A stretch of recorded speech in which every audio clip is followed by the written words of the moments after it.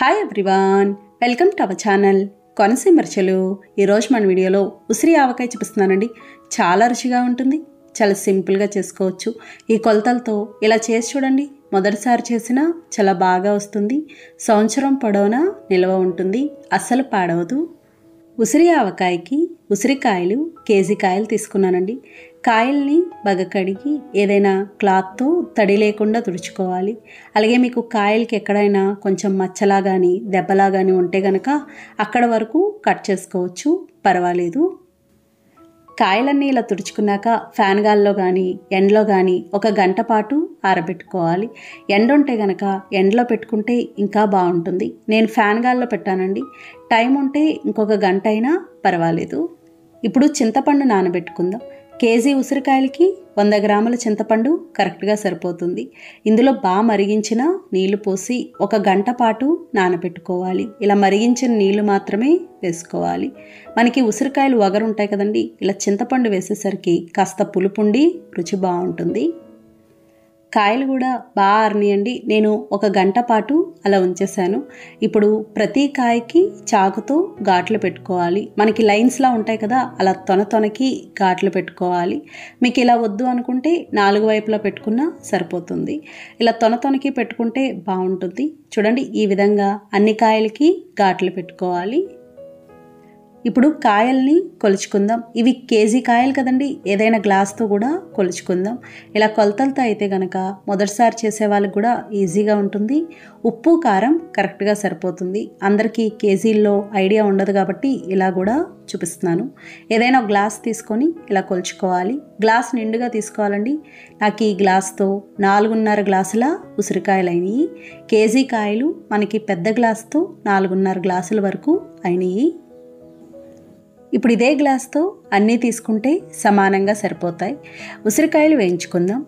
ఉసిరికాయలు వేయించుకోవడానికి stove on చేసి ప్యాన్ పెట్టి నాలుగున్నర గ్లాసుల ఉసిరికాయలకి అదే గ్లాస్తో గ్లాసున్నర వేరుశనగ నూనె వేసుకోవాలి.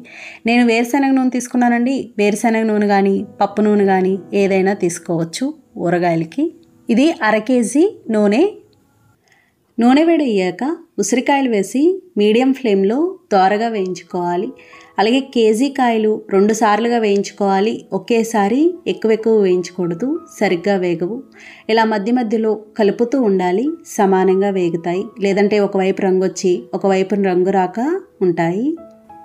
అలాగే ఇవి మరీ ఎర్రగా కూడా వేయకూడదు లైట్గా వేగితే సరిపోతుంది. ఎర్రగా వేగితే కాయ త్వరగా మెత్తబడిపోతుంది. చూడండి ఇవి ఇలా వేగిని కదా ఈ రంగు వస్తే సరిపోతుంది. ఇప్పుడు ఇవి గిన్నెలోకి తీసుకోవాలి. ఇదే విధంగా కాయలన్నీ వేయించుకోవాలి. అలాగే మన ఛానల్లో నల్ల పచ్చడి వీడియో కూడా ఉందండి. లింక్ ఇస్తాను. కావాలి అనుకుంటే చూడండి. దానికి ఉసిరికాయలు వేయించాల్సిన అవసరం ఉండదు. చూడండి కాయలన్నీ ఇలా వేయించుకున్నాం కదా. ఇప్పుడు స్టవ్ ఆఫ్ చేసుకొని అదే నూనెలో ఒక అర స్పూన్ వరకు ఇంగు వేసి కలుపుకోవాలి. మేమైతే ఉసిరి ఆవకాయకి పోపు పెట్టము వెల్లుల్లి అలా ఏమీ వేయమండి. ఇంగు మాత్రమే వేస్తాము. మీకు కావాలి అనుకుంటే పోపు పెట్టుకోవచ్చు. ఇది బాగా చల్లారాలి. ఇప్పుడు మెంతిపిండి ఆవపిండి చూద్దాము. మెంతిపిండి ఆవపిండి కోసం స్టవ్ ఆన్ చేసి ప్యాన్ పెట్టి రెండు స్పూన్ల మెంతులు నాలుగు స్పూన్ల ఆవాలు వేసి మీడియం ఫ్లేమ్లో దోరగా వేయించుకోవాలి. మెంతులు ఇరవై ఐదు గ్రాములు ఆవాలు నలభై ఐదు గ్రాములు. ఇలా కలుపుతూ ఉండాలి. సమానంగా వేగుతాయి. మాడకూడదు. మాడిని అంటే మాడు వాసన వచ్చినట్టు ఉంటుంది. చూడండి ఇలా వేగిని కదా. ఇప్పుడు ఇవి మిక్సీ జార్లోకి తీసుకోవాలి. బాగా చల్లారాలి. ఇవి బాగా చల్లారనియండి. ఇప్పుడు మిక్సీ పట్టుకుందాం. బాగా మెత్తగా ఉండాలి. చూడండి ఇలా మిక్సీ పట్టుకున్నాం కదా. మెంతి పిండి ఆవపిండి తయారైంది. ఈ లోపల చింతపండు కూడా బాగా నానింది. మనం మరిగించి నీళ్ళు పోసాం కదండి చింతపండు కూడా మెత్తగా అయినట్టు అయిపోతుంది. ఇది బాగా కలుపుకోవాలి. ఇలా బాగా కలుపుకొని పిప్పంతా ఒక ప్లేట్లోకి తీసుకోవాలి. లేదంటే ఏదైనా స్ట్రైనర్ ఉంటే స్ట్రైనర్లో వేసైనా తీసుకోవచ్చు. మరీ పల్చిగా తీసుకోకూడదండి. చింతపండు గుజ్జు నానబెట్టుకునేటప్పుడు నీళ్ళు చూసి వేసుకోవాలి. పల్చగా ఉందనుకోండి ఉడకడానికి చాలా టైం పడుతుంది. చూడండి చింతపండు గుజ్జంతా ఇలా తీసుకున్నాం కదా ఇప్పుడు ఇది ఉడికించుకోవాలి. స్టవ్ ఆన్ చేసి ప్యాన్ పెట్టి ఒక పావు గ్లాస్ వరకు వేరుశనగ నూనె వేసుకోవాలి. ఇది చింతపండు గుజ్జు ఉడికించుకోవడానికి మాత్రమే కాబట్టి సరిపోతుంది. నూనె వేడయ్యాక చింతపండు పులుసు వేసి మీడియం ఫ్లేమ్లో ఇది దగ్గర పడే వరకు ఉడికించుకోవాలి. ఇది దగ్గర పడడానికి కూడా కాస్త టైం పడుతుంది. మధ్య మధ్యలో కలుపుతూ ఉండాలి. అడుగు అంటకుండా ఉంటుంది. ఇది బాగా ఉడికించుకోవాలండి. సరిగ్గా ఉడికించుకోకపోయినా కూడా ఊరగాయ పాడవుతుంది. ఇందులో ఉన్న నీరు తగ్గి పూర్తిగా దగ్గర పడేంత వరకు ఉడికించుకోవాలి. చూడండి ఇలా బాగా దగ్గర పడింది కదా. ఈ విధంగా వస్తే సరిపోతుంది. ఇప్పుడు స్టవ్ ఆఫ్ చేసుకోవాలి. బాగా చల్లారాలి. ఇది బాగా చల్లారిందండి. ఇప్పుడు ఊరగాయ కలుపుకుందాం. ఉసిరికాయలు కూడా చల్లారినాయి దీనికి ఇవి ఏమీ కూడా వేడిగా ఉండకూడదు. వేడిగా ఉంది అంటే ఊరగాయ రంగు మారిపోతుంది చిరి చేదుగా ఉన్నట్టుంటుంది రుచిగా ఉండదు.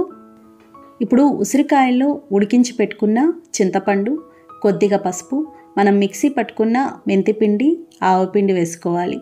అలాగే నేను త్రీ మ్యాంగో కారం తీసుకున్నానండి. మీకు నచ్చిన కారం ఏదైనా తీసుకోవచ్చు. ఊరగాయ కారం మాత్రమే వేసుకోవాలి.